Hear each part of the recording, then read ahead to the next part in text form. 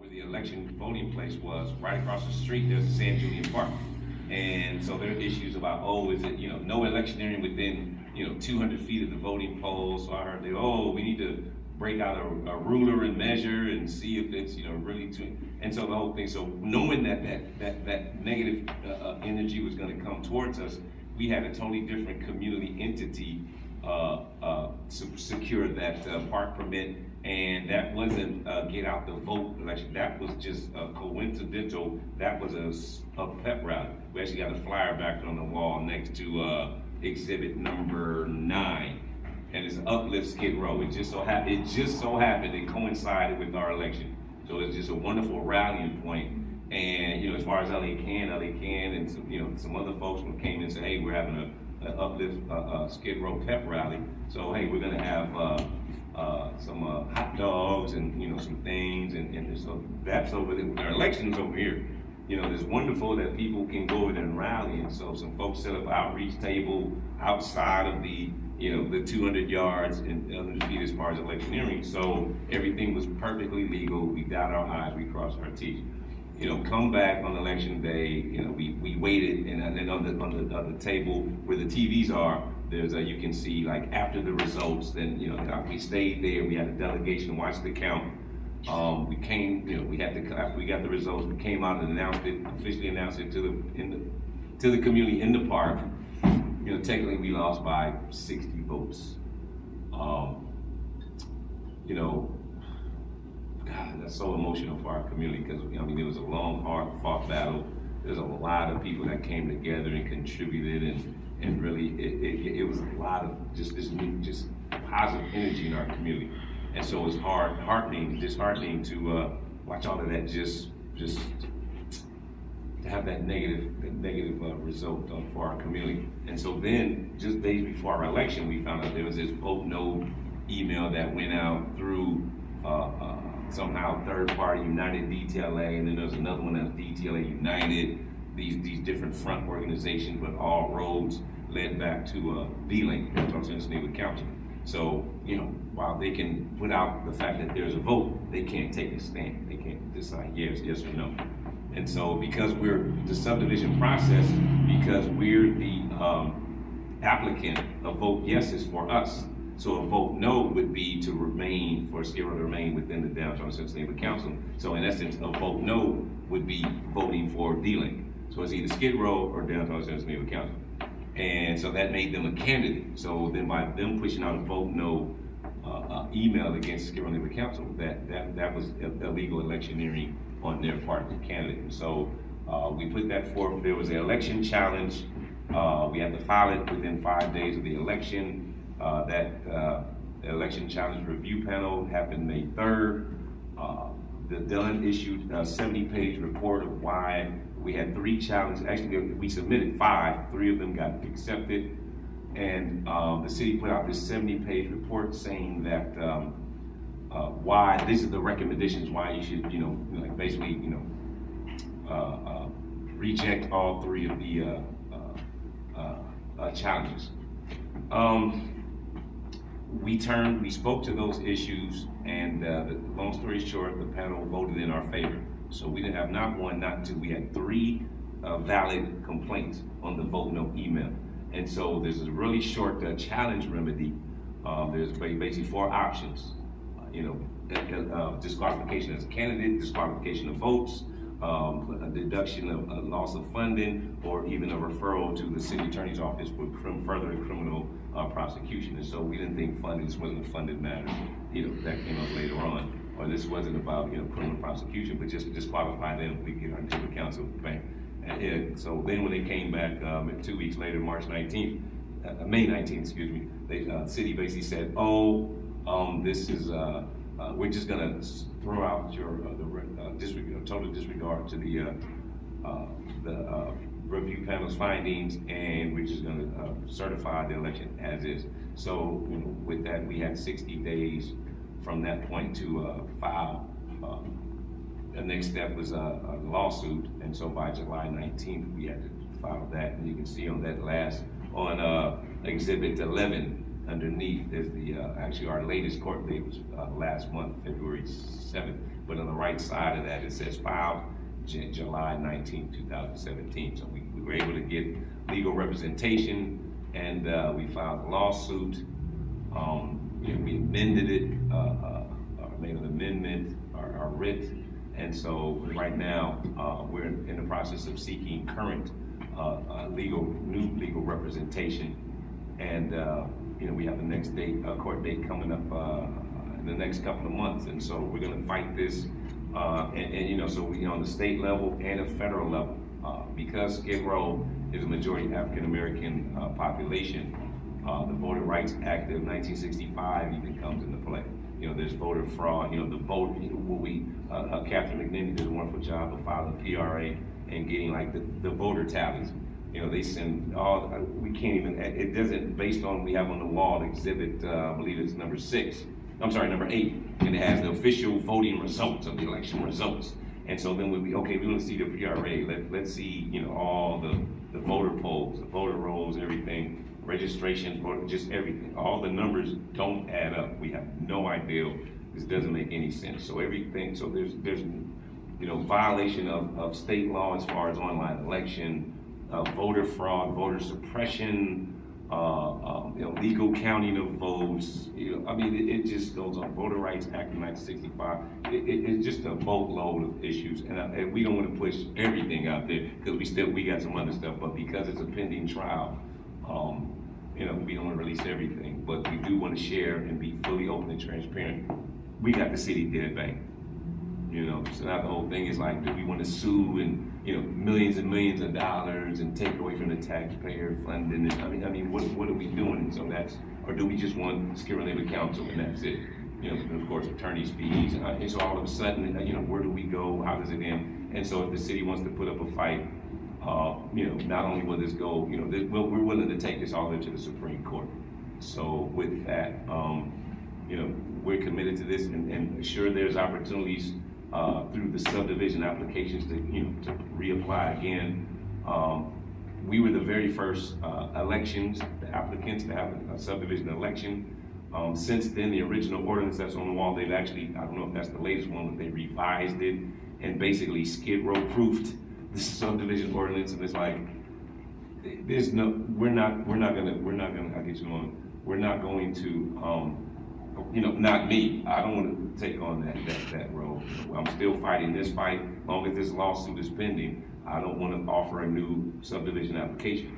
Because people say, oh, all you have to do is just, you know, subdivide go ahead and vote. And it's like, no. So let me just close with this, that one of our strategies, knowing that, uh, as, as it came, as Adrian spoke to, all these emails, all this opposition on, on, on social media, you know, being on D-Lank, just knowing that there was so overwhelming uh, uh, uh, opposition, you know, we felt that through our normal boundaries, 3rd to 7th Main Alameda, come to find out, on the northeastern part of our boundaries, that is commonly known that back in the original uh, uh, uh, the, uh, neighborhood council uh, divvying up of boundaries that uh, when we mentioned Arts District and Little Tokyo, come to find out that there were five blocks of Skid Row that actually Little Tokyo claimed and put it in that application, and because Skid Row didn't have any leadership, it wasn't even aware of it, that's still on the books. So when we offered our natural borders of Skid Row, all of a sudden their boundaries were included. So not only did we have the downtown centers, anybody with a part of the downtown centers neighborhood council could vote,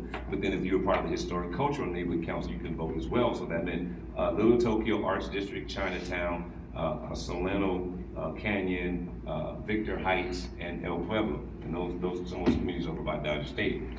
And so we got a whole bunch of people outside Skid Row like voting and weighing in on our little old community. And so, um, you know, we weren't trying to land grab. We're not trying to, all we're trying to do is just address our issues. And so it's frustrating. So, but we're willing to fight this all the way up to the Supreme Court. So that's where we are. Thank you guys for listening. Any questions? Oh, let me start with Mr. Garcia in the back first. Oh, oh, when you mentioned, um, about the uh, results, I thought state law had priority over local, like the supremacy clause or the federal laws are on top and don't, don't state laws, um, outweigh local laws? Absolutely, and so a lot of state law, laws are definitely applied in uh, local elections. Um, as far as neighborhood councils, again, the city is arguing saying that neighborhood councils, the entire neighborhood council system is not subjected to a state law. That's some, that's another point that we're gonna argue in court. Uh, we feel that it is, strongly feel that it is. How could it not be when there's taxpayer funding involved, city clerks, and, and, and a lot of other city agencies, Department of Neighborhood Empowerment, and all these other entities, uh, for overseeing the elections. Uh, McNenny and then, McNenny. Um, I also want to thank uh, Poverty Department very much, again, for hosting this exhibit. Um, The number one question that I get asked, and I was um, very involved in this effort to start a Skid Row Neighborhood Council, number one question I get asked, or uh, comment I get is, why don't you just submit another application? And um, it's really hard for me to give a, a quick and short retort to that, like why we don't want to. But what I, I think to, in a way that I can express clearly why I don't want to put energy into that right now, it's because of what the city did to subvert Right. this effort. Oh yeah. The city not only imposed online voting, even though there was a ban citywide, they also rejected their own panel's recommendation to give us a Skid Row Neighborhood Council. And on top of that, I think that the, the vote numbers were fudged. They can't even prove to me, despite numerous public records requests, that the vote is what they claim it to be. So what I'm saying is the city is, we're, you know, whatever they want to do, they're doing to change, to make the outcome be us not getting our neighborhood council. Therefore, they will do it again. Yes.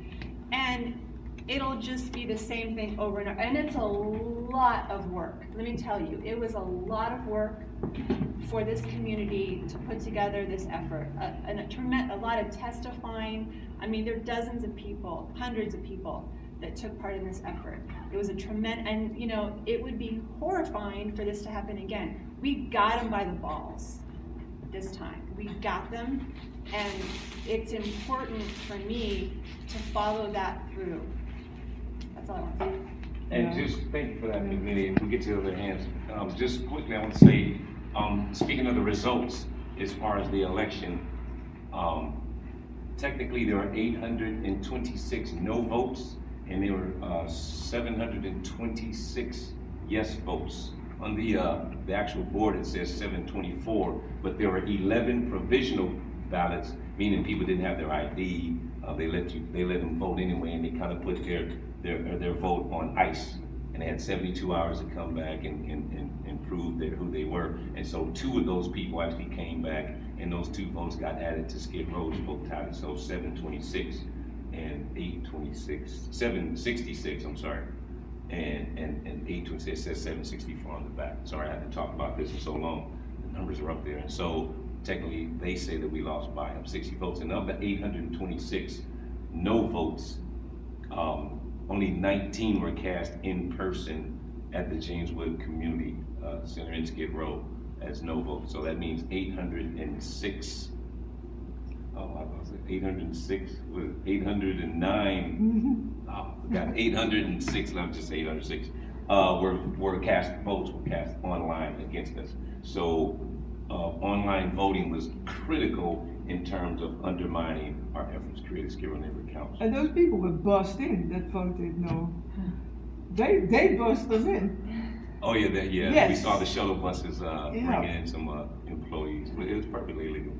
Just bringing them to the, you know. How many people of the seven hundred and something who said yes were voting on site? I mean, that's a, that's a super interesting detail right? Yeah, and so, uh, uh, I know our own, our homeless community, there were over two hundred people that voted yes. Um, so, all the, uh, the specific numbers, I forgot, I haven't looked at the numbers in a while. We had over, uh, five hundred, uh, uh, votes that were cast online, as far as yes. So, you know, but, but to say, you know. So they say.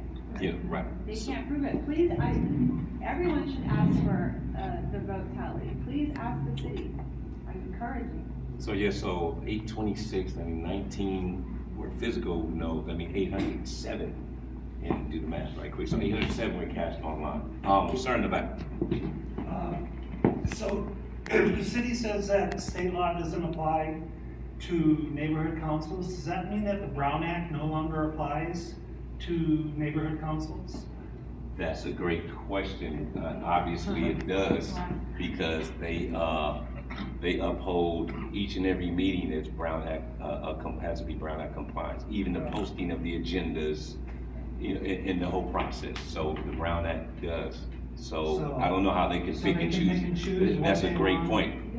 Are you, do you happen to have a law degree? I like the way you think. I was uh, involved in SLNC for quite a long time. Okay, so all I right. know all about Brown Okay, great. But I have one follow-up question. Sure. Um, Why did you take the money from the city and the council? Why does it have to be one or the other? What do you I mean? mean, I, I think you, the Skid Row suffered dam, damages, so you should be entitled to the money that you were talking about and also having your council.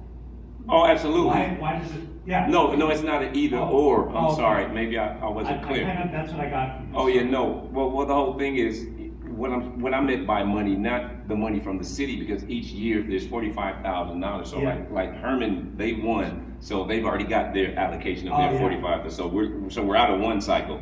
You know, as June, as July first comes, there's a whole nother cycle, so that could be ninety thousand right there. What I'm talking about is damages. Yeah. Oh. You know, so, and so how can we, I mean, you know, in any law, uh, lawsuit, you know, not only is it the issue, but then there's damages that could be applied. So now we're talking about damages for the Skid Row community, like the fragile mental psyche, collective mental uh, damages, like could be in the tens of millions each. I mean, like, so how far, I'm saying, how, as a community, we would have to decide how far, what do we want to list as our damages? Because that was to be cheated, to, to, to go through the process, dot I's, cross T's, do each and everything that was required of us by the book.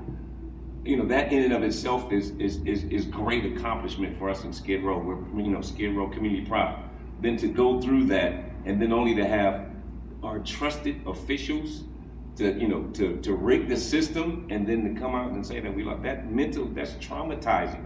So, I mean, damages, uh, you know, we're gonna have to like sit down and pick a number within collectively as a, as a group, like, or do we even want to uh, go in that direction, or do we just want to get our Skid Row Neighborhood Council and just address our issues, or do we want to send it? We can't. It, it's one thing to send the city a message, but if we ask for damages, that technically would be taking away taxpayer money from you know the rest of the city. So that that's what I that's what I was referring to. Antonio, you you. you. Uh, Just to clarify that piece, so with that eight hundred and six no votes. they're ca- 807. I misspoke. that's Thank you. right. Uh, they're counting the votes that were cast at pop-up polls Yes. around the city, and that was one of the things. Well, not around the city, around downtown Los Angeles. Around with- downtown Los Within, Angeles. yeah. And I forgot, I don't know if you know the number, I remember Hype calculated it, like the number of available voting hours Hours. for folks, folks at pop-up polls ten days before the election, as opposed to the four-hour window Right. that folks in community had to vote on the day. Right. Um, so just to, again, like just that, that, add, add a touch more detail there. Absolutely, and so that's the whole thing, you know, it's, it's so much information is overwhelming. Thank you, Antonio. We, we, we try to, you know, make our presentation as brief, but, you know, we still don't want to be too brief. But as far as, you know, voting hours, what, on- what on- Antonio's speaking to, when online voting was added thirteen days before our election, um, and then it uh, came online and, and, and you were able to vote uh, days after it was approved, um, as opposed to the physical polling place was four hour window. On uh, April 6th, between hours of 3, 3 p.m. to 7 p.m. That's all. And if you're in line before 7 p.m., they still let you vote. But it's a four hour voting window. Online with all these days, uh, again, a, a, a supporter, ally, uh, did the math, and I think they said it was 235 hours to four. So, you know, they had all this energy and all this opportunity to vote no. It was just a tremendous uphill battle for us. And then again, when we look at the voter tallies, maybe they, maybe we still, you know, kick butt in that. I don't know. And so, you know, that, that there's another issue that needs to go to. uh, Wait, wait, wait, you had the same time to vote, right? Everybody could vote for those thirty days, right? Either yes or no. Sure. So like, in that sense, everybody has the same chance, like. Uh, Not necessarily, because in, in, in Skid Row, in Skid Row, you know, if you've got folks that are homeless, don't have access to computers, don't have access to anything electronic, tablets, smartphones, you know, you know, you have to upload personal documentation, so you need a scanner to upload. I mean, there's a there's a there's a lot with that, and so you know that that heavily, you know, the pendulum swayed heavily in the opposition's favor, and so you know, yeah, it wasn't it, it fair and balanced as it should have been. And then the fact that, you know, 13 days before the election. So, you know, uh, as the chair of the Skid Row Council Formation Committee, you know, our, our outreach was focused on get to the polls. You know, get to the polls, get to the polls. We've actually had uh, uh, video footage. I don't know if it's part of the, this exhibit, but we've got video footage where the city held three town hall meetings. We speak to it on, uh, I believe it's, uh, uh, oh, there it is in uh, exhibit uh, six. And they had three town hall meetings and they constantly said, there will be no online voting. There will be no online voting. There will be no online voting. So great. So our outreach is get up. We got to get our people to the polls. Four hours. We got to get everybody to the polls. Then less than two weeks before the election. Oh, there's going to be online vote. Okay, wait a minute. We're not. Hold on. It, you know. So we otherwise we could have had opportunity to plan to help get maybe a, a, a, grassroots organization or outside organization to come into our community, set up some tablets, you know, cell phones, smartphones, scanners.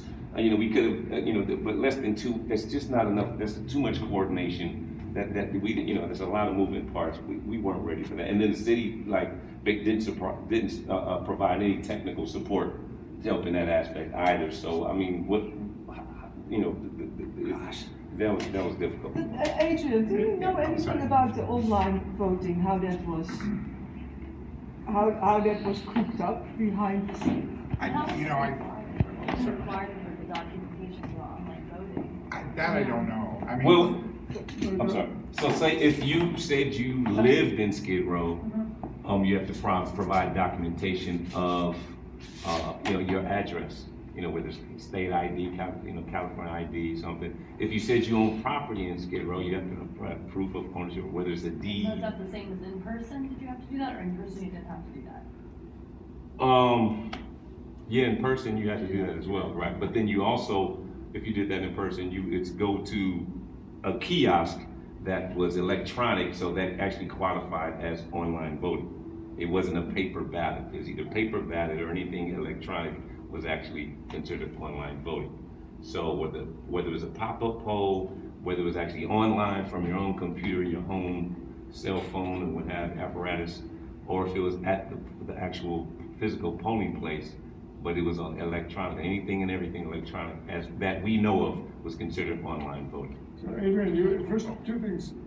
I'm going to ask you a question, but also before that, you had your hand up about something else. In, in answer, uh, there's an additional thing about your question about um, it wasn't just that the online voting was uh, very unfair to homeless people and people who don't have access to it, but the pop-up polls were located, some of them in commercial office buildings, in bid offices. Like the one at the Fashion District bid was in the California Market Center at 9th and Los Angeles. And, you know, there's security guards in the entrance. You try to go in there if you're homeless and go up to the 11th floor to vote, it's not going to happen. So um, I, I, don't know that anybody trying, but, uh, you know, why would they try? It's another way in which the populace is discriminated. Sure. What was the, what was it you wanted to say? That was minutes ago. Oh, okay. That, that was what I wanted to say. Antonio? I think it was, it was my understanding that you couldn't vote, uh, you, so a, a person experiencing homelessness could self-affirm only on the April sixth vote Right. window. Right. Only in that four-hour Yes. window. Right. So for each of those pop-up poll opportunities and all the days preceding the election, you could not vote. Right. You really could not vote, uh, Right. using self-affirmation. Right. Which is, uh, like disproportionately disadvantages the folks who dominated that. community. Right, and so the very first town hall meeting on May 29th of last year, that the, the city-led town hall meeting in Skid Row, they actually had, you know, pop-up poll, polling place right there. And so while we're, you know, getting, hey, we can go outside and vote right now. And so then when people are coming back, wait a minute, they didn't let me, they said I couldn't vote. And so that, that, that created an instant uh, uh, energy of confusion and chaos. And, you know, we were unclear as far as can we get our people to the polls or, or not? Like, can we go now? What is going on here? And so, so then the city was, you know, going shucking and jiving, going back and forth. And, and so it really became unclear. And, and, and a lot of, there was a lot of people in our community that word spread out, and, and they didn't have anything to do with that because it sounded like a whole bunch of confusion. Uh, that's okay. And so we lost votes. And when we talk about, you know, in, in, in the country of America, you talk about any election that's, you know, 60 votes, that's considered a, a, a highly close, a seriously close election. And then with all the other question marks, we could have easily gotten 60 more people to the poll. Uh, Mr. Garcia. I don't know if you heard the story, but I think they used, um, the Little Tokyo Library on Second in Los Angeles, Yeah. the pop-up. Yeah. And that, that library is used by a lot of homeless people, and the vote was sixty, right? I heard through several people that, um, there were people in that library, homeless people that wanted to vote. Yeah. They went to the librarian and they said, you can't vote, and then people in suits and ties came in, sir, please vote, please vote. There was at least sixty homeless people in that library, Mm. and, um, so, I heard that through several people. Yeah, and so, you know, the stories, and so we hear all kinds of stories, and so unfortunately, in the court of law, um, it's a matter of what you can, what, not what you know, is what you can prove.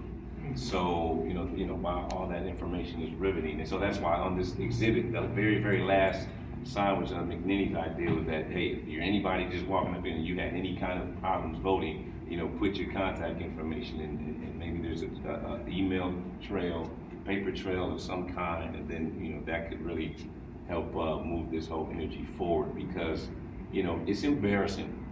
You know, I'm born and raised in, in the city of Los Angeles, I'm a proud Angelino, homegrown to the roots. And, you know, so it's all about the American democratic process. And so part of this fight is, is about the Skid Row Neighborhood Council, but the other part is about upholding the American democratic process. Like if we let this effort just fall away and we walk away, throw up our hands and say, oh, well, I mean, we just let corruption happen. You know, in the days of what's going on in Washington D.C. and, and so many other levels of government, we cannot just let corruption happen.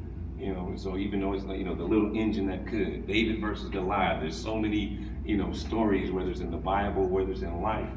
Uh, you know, we got to keep going. We have to, and so that's why we're so proud that, that we're doing it. I'm sorry, Tom has a question. Kathy Gudis went from half a question to a full question. Well, I- I'm just, uh, because I'm not a lawyer, so I'm not sure where legal issues get involved in this, but, but one of the main dynamics where the online voting is so unfair, and I don't know if there are legal implications to this, is that when they decided to do it, they already had like eight hundred or thousand people who had voted in the last D-Lank election pre-registered. Oh. So those people immediately got, here's your PIN number, boom, boom, boom. So those people, when they tried to access the system, had it fairly easy because they were already in the system. But everybody else who wasn't in the system, that's where you're hearing all the, you know, I tried four times and I could, you know, you know, that's where all like the technical horror stories popped up. But the people who intend to vote for D-Lank, because they have a history of voting in D-Lank collections, they were all pre-registered. So in that like 12, 13 day time frame, it was easy for them, much easier for them to vote than for everybody else. How that might violate voting rights, yeah, you know what I'm saying? I mean, but that is definitely something a lawyer should look at. Absolutely, and then, and then piggyback off of that, um, as far as uh, neighborhood councils and online voting, that actually was a pilot project that started in 2016. The normal neighborhood council, the citywide neighborhood council elections was the very first time that they had online votings. It was uh, uh, held by a third party, uh, conducted by a third party organization called Everyone Counts. We still don't know who they are. They're based out of San Diego and they oversaw and put forth the uh, all the portals, the voting voting portals, and they're supposed to have all this uh, expertise. Um, so the city went to all 96 neighborhood councils at that time and said either you could, before that election, said either you could opt in or opt out. There were 35 neighborhood councils that opted in and said, yes, we want online voting. Downtown Angeles Neighborhood Council was one of them. And so when we put forth our subdivision application, they said, well, because D-Lank voted for online voting, then that's why you guys would be subjected to online voting. Hermon, the community that was subdividing from the Arroyo Seco Neighborhood Council, uh, because the Arroyo Seco Neighborhood Council opted out, They said Hermon's vote wasn't subjected to online voting. So now, uh, if you take that even further, in the 2016, the normal neighborhood council elections, um, online voting by conducted by Everyone Counts out of San Diego, Studio City neighborhood council, it was the, the big, you know, fiasco uh, where someone within the city's department that was uh, overseeing the helping with the elections, they accidentally, like when you upload sensitive documentation, everybody that registered, they actually hit the wrong button and everybody's sensitive information went to everybody that, I mean, everybody had everybody's stuff, personal information. And so there were major red flags. And so everyone counts um, while they, you know, basically said, oh, well, that wasn't us. That's like, oh, that was like, you know, driver error. Um, said, you know, so then the city actually still went with uh, everyone counts. And even after our election, when there was a bunch of uh, uh voting issues, uh, everyone counts still wound up getting a city contract to continue to administer uh, online voting. So there's a whole lot of issues with online voting, not just our election, but the entire online voting process through this organization called Everyone Counts. So, you know, there's a lot of digging and uh, there's a lot of uh, information that we can put forth. And again, it's not just about Skid Row, it's about uh, also upholding the American democratic process. So why was it only 13 days before the election if they already knew that it was supposed to be part of, of the on that the online voting was supposed to be part of this? That's a good question. Well, our application again, uh, subdivision process uh, got approved November uh, 2015. City Attorney's Office finalized in September of 2016 from the window to uh, offer subdivision application was from October 16th to December 19th. Um, after that, the city came back of January 11th, 2017 and said, Skid Row, we approve, we accept your application. Whew, that was our second victory, great. So now from there, the subdivision ordinance, uh, number four, said that uh, they had, the city must within 90 days have to have our subdivision election. And so through that on January 11th, and, and come to find out through Adrian's uh, PRAs, the, the naysayers went to the city the very next day, January 12th, and said, hey, we want to oppose this, we want to oppose this. And so they're basically saying, you know, blaming on lack of outreach, oh, this is new to us, whatever, whatever. And so at that time, while there was an issue with um, online voting, um, their actual uh, Studio City, after their uh, fiasco uh, the previous year, um, in June of 2016, their council member, Paul Krekorian, issued a, a, city ordinance and put a temporary ban on all online voting for neighborhood councils across the city. So that ban was still in place, and that's why the city during our three times saying there won't be online voting, there won't be online voting, because there's a temporary ban. Now all of a sudden, uh, you know, the downtown business sector influenced downtown's council member, and all of a sudden they, were 13 days before our elections, oh, we're still going to keep the ban on all the other uh, neighborhood councils online voting, but we're going to allow it just for this one.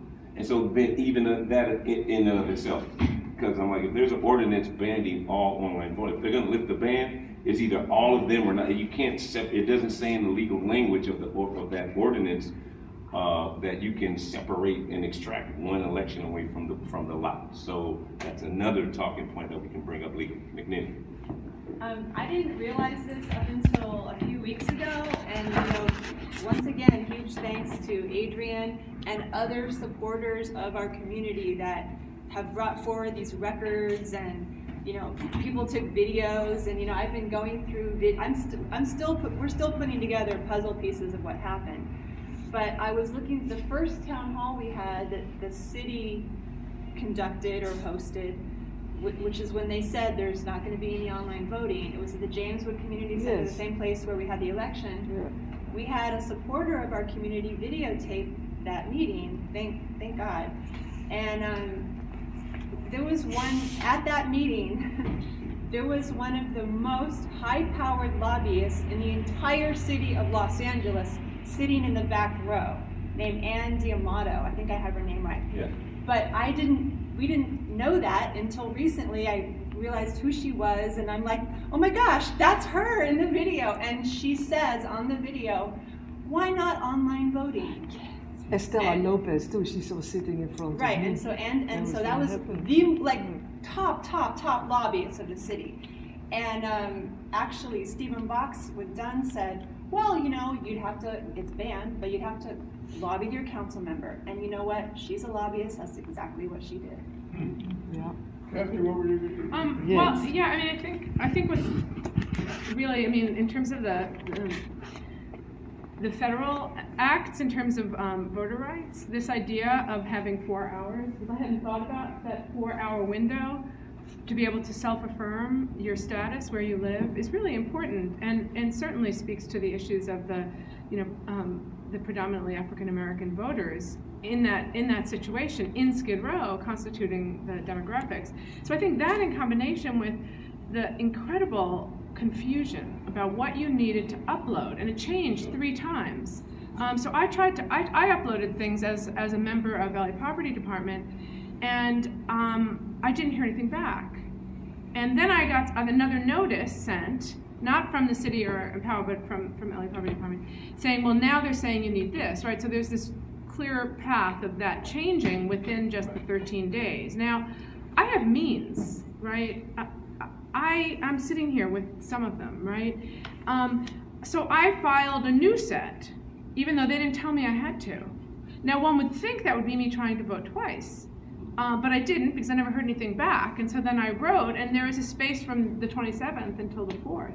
Um, that's a big difference. Then I had two days left, but I still never got any confirmation. And so, if that's my situation, then the civil rights abuses seem pretty clear. This is sort of speaking to the same language as disenfranchisement in the South from before the Voting Act. And so um, it, it, it is, you know, your, your sentiments that you've both expressed in terms of um, there may be one element of it that's about um, you know moving ahead, but the other element is about you know fundamental democratic rule. When we see in downtown, especially like when you compare, and yet I think like I want to know about Hermon, even though I'm so I, I know what it's about, right? It's about developers wanting Skid Row, right? That's what it's really about. But I still kind of want to know about Hermon. Like, Right. did they have online voting? They did not. They didn't have online voting, so it really was only, and so it Only followed. Right. Um, and did they have a, and they had a four-hour block of did. time That's all where they had. people, uh, and they didn't have pop-ups. No.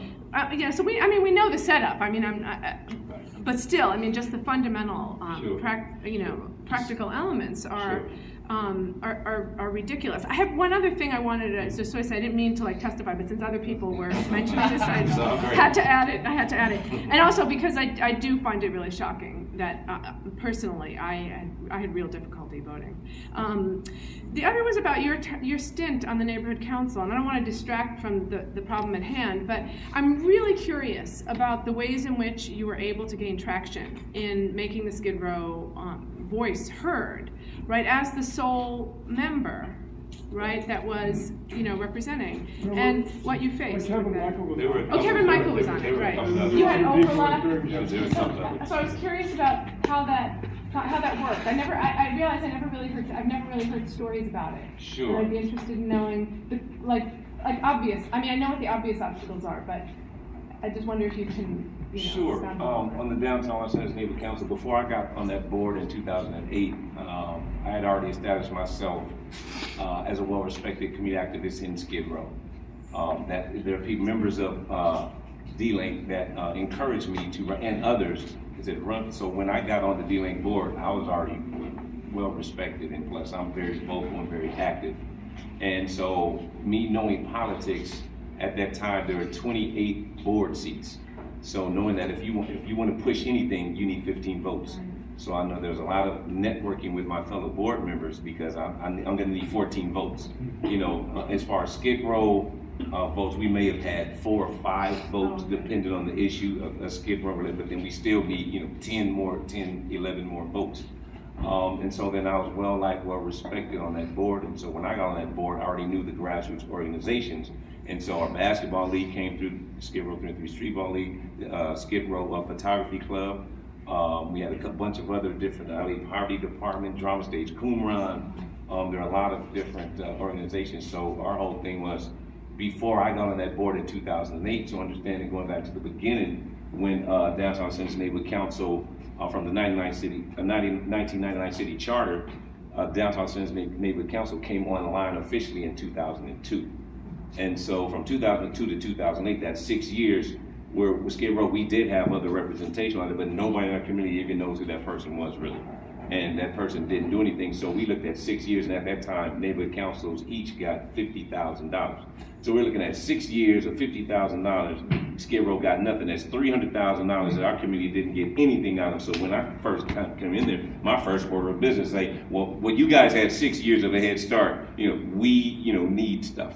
And so Operation Face of Skid Row, was, uh, we got brooms, dress, I mean, there was a lot of stuff. And so that was my impetus for doing that. And then there are other people from the community that, you know, me being on the board, um, I would encourage people to come to me and I could help shepherd things through. Other people on the board would try to go through the others, one, some of the other members on uh, uh, on the downtown Senate neighborhood council represent Skid Row, and they couldn't get their stuff, push their stuff through. And so then that's when I started realizing this is going to be an Yeah. issue. I don't know how long I'm going to be here. I know how to navigate the system, but they're really like there's a filter that's you know stopping the Skid Row energy from coming through. And so at towards the end, there was a lot of complaints of, of, of, the, of that last board saying, hey, you know, Skid Row's getting too much.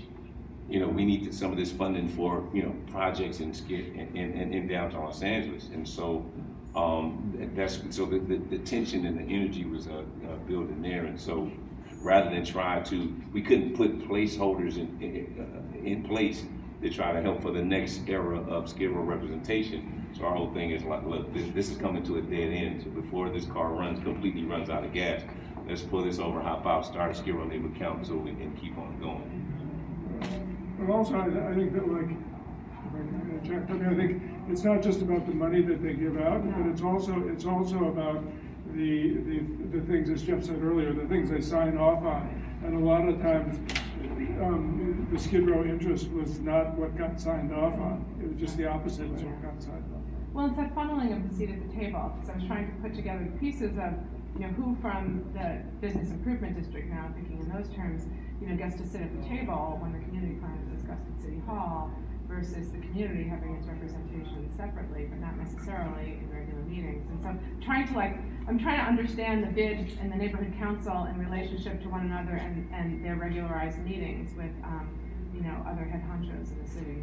So what I learned, if I can speak quickly, what I learned um, from being on the Downtown City Council board was that before I got to Downtown Center, the, what Charles Porter told the concept of the neighborhood council was to create uh, a, a representation separate from the bids. Because the bids are already, you know, they have lobbyists, they, they already connected to City Hall. And so the neighborhood council is supposed to be like we, the people, like everybody else. So then what happened was, you know, the bids got in there and part of the, that, that, uh, uh, the farming energy, when they're forming the actual, the, the, the definitions of what a neighborhood council is, and saying, well, we need to be included because we're stakeholders in these communities.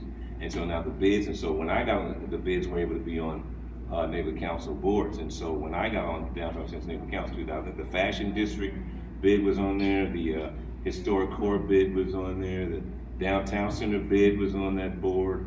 Uh, the uh, Central City East Association was on that board. So there, and there may be one or two. So there are multiple seats that went in the, the business seats.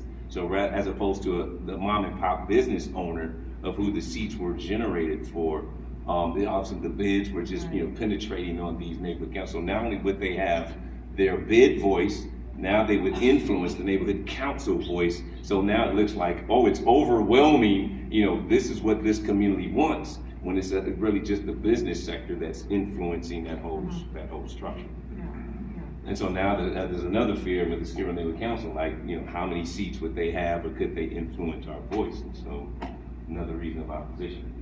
And as far as I can tell, that's unique to DUNG. That is, in the DUNG bylaws, they specifically say that business improvement districts are eligible for the business seats. And uh, so there's a number of bid executive directors who sit on DUNG. Um, and uh, it creates, I think it creates a conflict of interest in some cases because like Rena Leddy, who's the executive director of the fashion district, um, was, was, uh, was a- she was told by her board to advocate in favor of uh, City Market South, which is a big development project. And at the same time, various parts of that were before DUNG, where she was a member and voted in favor of them. Um, and I think that's a violation of, state ethics laws. Um, And uh, it, it's gonna be just a normal situation, the way the bids and Elanco overlap. But as far as I can tell, that doesn't happen elsewhere in the city. I think that's the Not even in Hollywood. No, not in Hollywood. There, there's, there's very little bid involvement in neighborhood councils there. I think there's one Hollywood, one of the Hollywood neighborhood councils, there's a member who's married to somebody on the board of a bid, but that's, it's different. They live, in they also don't just own property, but live in the neighborhood. So I think, no, it's just D-Lank, uh, as far as I can tell. I mean, I'm not, again, I'm not surprised. It's just- Well, I mean, that's where the, the real concentration of money is. You know, Hollywood, there's a lot of money going on, but nothing compared to downtown. And then again, the bids have their own voice, so there's no need to pile up, because there's little to no opposition in terms of the dominant voices in the other community. Why they're doing it downtown, we don't know, but they, they have a stranglehold, yeah. Any other questions? Mr. Garcia? Um, just one last comment. Uh, the thirteen days before the election, that's when they, uh, do the online voting. Yes. So it's like if you have a football game and you change the rules in the middle of the game, and you say, okay, that's not fair or right or Right. legal or moral or ethical or, you know. Right, and, and, You can't, you can't change the rules in the middle of the game, you know, Right. you know, that's. Right.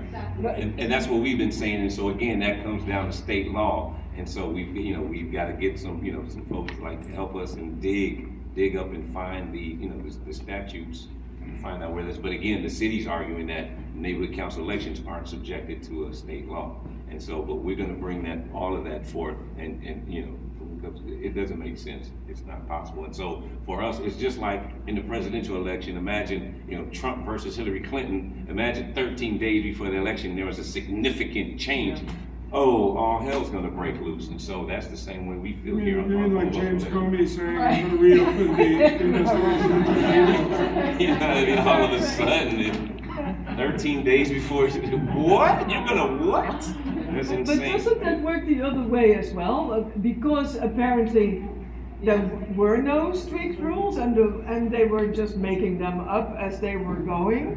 Because that's what it really looked like. I, I mean, how are you go, on what basis are you going to, uh, you know, go to court? Because apparently, the- you know, the rules are just changing all the time. So there's no precedent, there is no, uh, nothing to compare it to. Uh, Well, well, well, well, what we, what we have is the subdivision ordinance itself. And the subdivision ordinance said, you know, it's gonna be election within ninety days, and then, you know, further DONE said that it would be, just be one physical polling place, a four-hour voting block, that's it. And so, you know, how many of those eight hundred and seven online no votes really would have come to Skid Row and stood in line for four hours to cast that vote? And so, you know, if, if, if you can say sixty-one people would not have shown up or more, then there, that's, that, that's a difference maker in the whole election, sir. This is a question. Sure. Well, it is. I'll turn it into a question. Mm-hmm. Isn't online voting for uh, the majority of residents in Skid Row a sort of poll tax? Because, you know, if I'm living on the street, I don't have, like all those things you said that they don't have.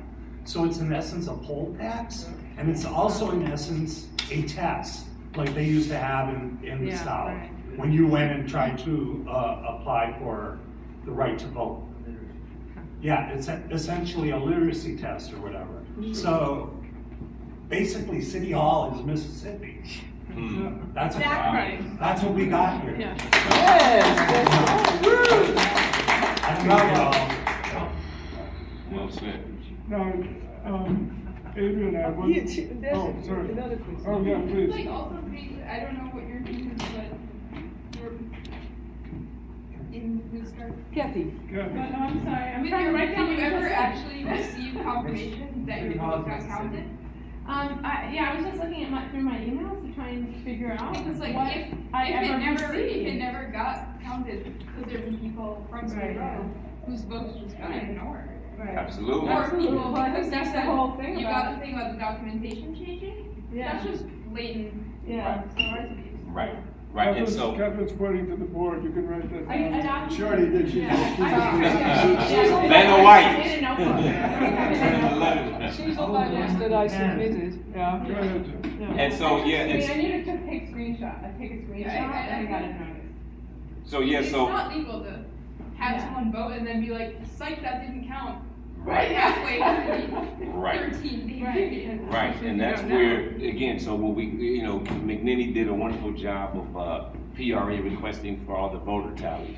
You know, every inch that we could think of, every list, spreadsheets, email, paper, whatever, you know, not only from DONE directly, but then everyone counts, you know, the, not, the numbers don't add up.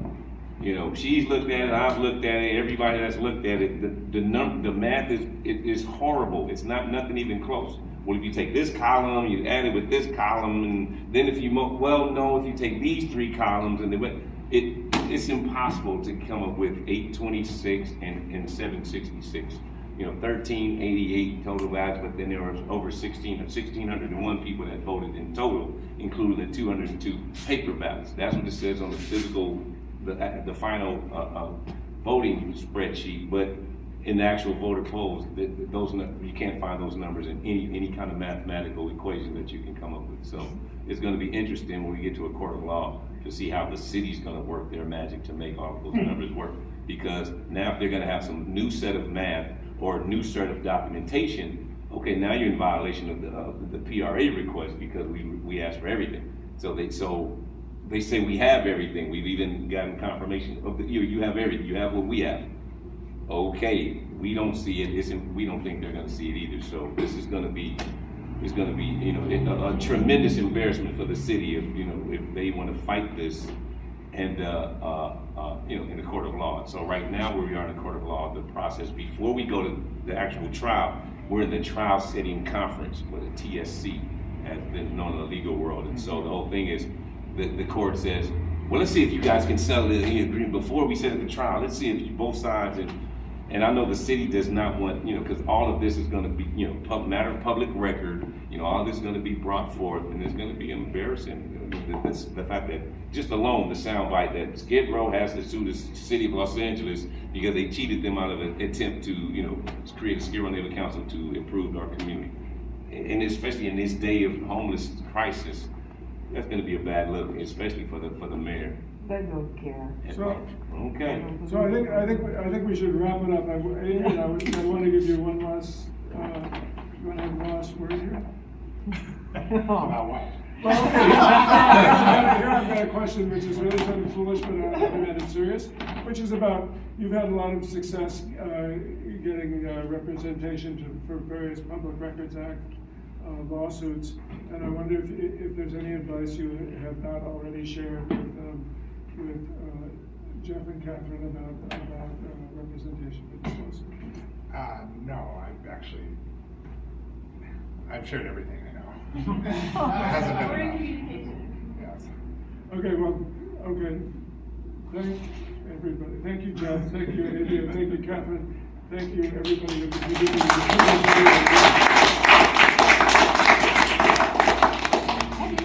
Response from any of this? Because it's pretty clear. I mean, it's not six hundred pages like the other documents, but this is really, really out punching. Did you get any, have you gotten responses, particularly from any of the people? Yes, Adrian, that's what I want to know.